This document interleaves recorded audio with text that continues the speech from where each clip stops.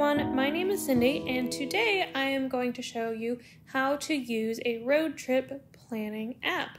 Uh, because it is the summer season, which is a great time to get out and travel. So, whether you want to just go out into nature or maybe try to see if you can't uh, make up for a vacation you listed you missed last summer, it's always a good time to plan a road trip.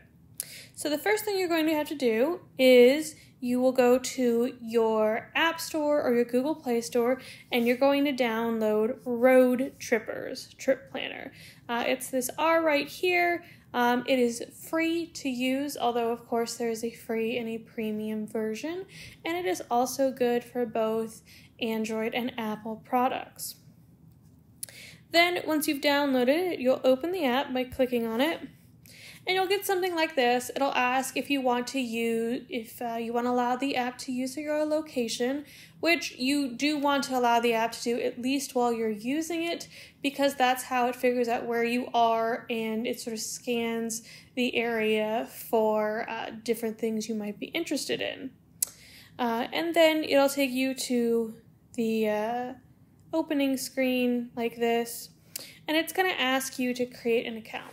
Now, if you want to save your trips, if you really want to get the most out of the app, you will need to eventually make an account.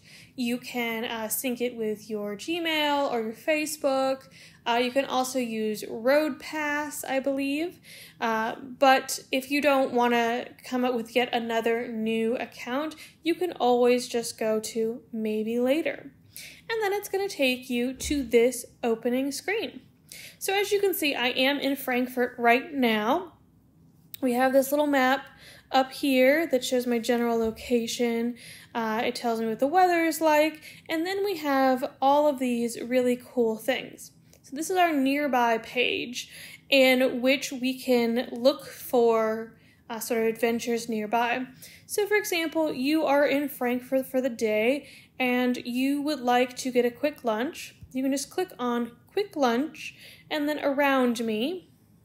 And that will tell you all the places on the map fairly nearby that you can eat at. And you can just pick one. You can also zoom in. Uh, I'm going to specifically click on Benson Marina and Willie's Tiki Bar. And so you see when you highlight it with your finger at the bottom, you get a little uh, menu that says its name, and then you click on that, and that will take you to whatever information is about it. Now, Benson Marinas doesn't actually have a bunch of information, and sometimes things won't.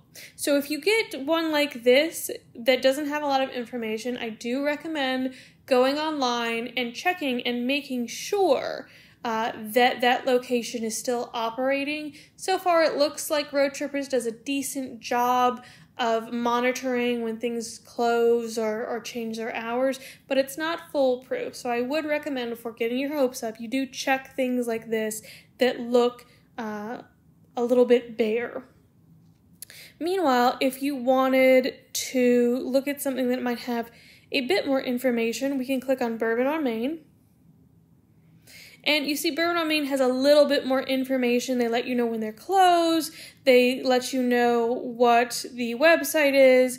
It looks like there is an official review. There's a couple of photos, things like that. And then we just hit the back button. Hmm. So different locations will have different amounts of information. It just depends. Now I want to go back to nearby because I want to show you some more stuff. So for example, if you kind of like look down a little bit, you can see that they offer you some nearby trips. Like you just don't know what you want to do. So you're like, well, what's what's around? I sometimes like sort of more creepy places, little haunted places, especially as we start looking towards fall. And it looks like they've got this sort of fun example of a, a haunted area, like a little haunted tour. So if you thought this was interesting, you could always click on take this trip and then you can save an editable copy of this trip and take it with you offline. So we hit save and that is where actually having an account is going to um, is going to sort of fit in. If you want to do these things, you need an account. It is free, but you do need an account. We're gonna go to maybe later. Uh, So let's go back. Here are the other tabs. There's also always the map tab. Now, let's say I wanted to like actually go on a trip. The map is going to show us where we can go, but if we want to actually start our trip, we got to go to this nearby thing and then hit start new trip. So it's got our current location, and I want to go to Point Pleasant, West Virginia. Some of you might know that Point Pleasant, West Virginia is home of the Mothman. and there are quite a few things you can see along the way.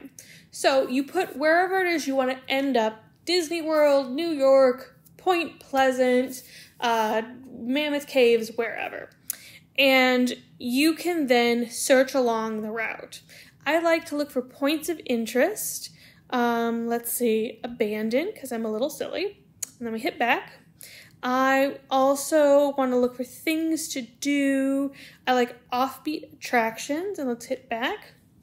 Uh, obviously, I'm gonna need food and drink. I like diner spots, um, and wineries, breweries, and distilleries. And then we hit back, and I'm gonna say that's good for now. And then you just hit the start trip button at the bottom, and it sort of goes this.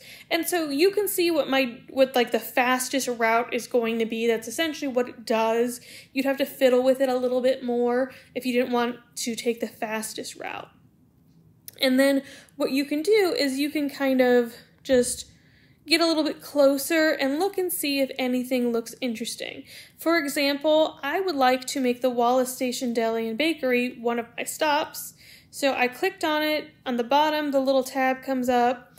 I click on it again so I get more information and I can kind of learn a few things. There are a few reviews, uh, there are a few photos, but what I want to do is I want to add to trip and it is now on my trip. I'm going to hit back.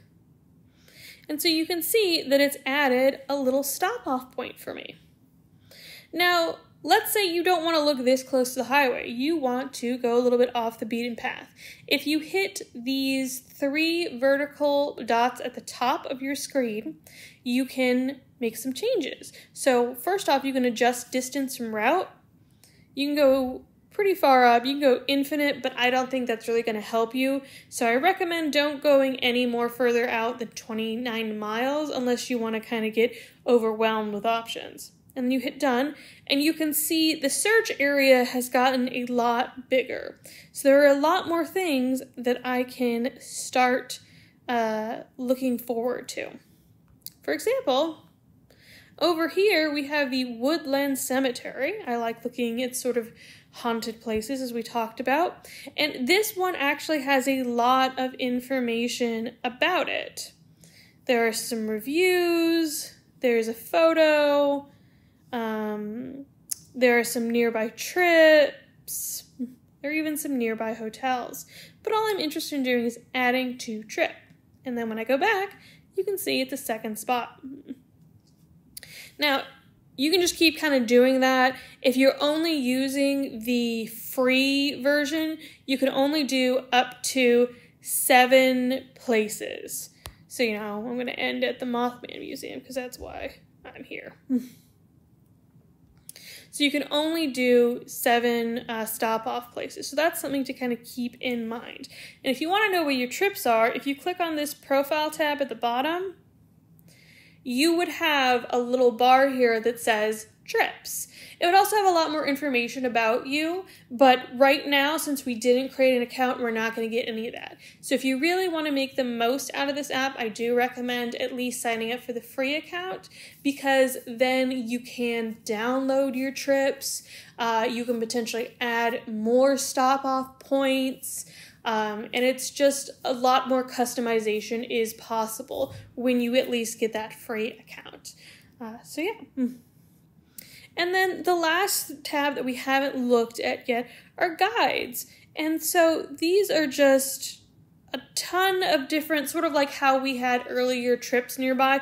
These are just a ton of different potential things that you can do. Like if you really uh, enjoy going on road trips, but you don't always really enjoy planning road trips, you know, just look at guides and kind of you know, you can do the featured one, classic American road trips, national park trips, or you can just once again see what is nearby and you have quite a few options. And whenever you find something that looks interesting, for example, finding Dolly Parton in Nashville, you can click on that and you can see this pretty in depth uh, article, sort of post about finding Dolly Parton in Nashville. And once again, if you at least get the free account, you can download and take this trip. So that is Roadtrippers. I hope you found it interesting. I hope you found it inspiring. Uh, I hope it's something that you'll consider using. Uh, once again, it is good for Android and Apples. It is free uh, to at least plan smaller trips. And I hope that you know it's something that you can use. So if you have any questions, feel free to comment on this video and I'll do my best to help you. Otherwise, I hope you have a great day. Bye.